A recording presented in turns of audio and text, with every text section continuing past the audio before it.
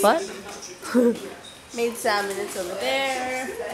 Didn't take any videos today, I don't care. Well, then call him. Dinette's here. How can I Corey's there. doesn't have? Well, then call the Cyprus police.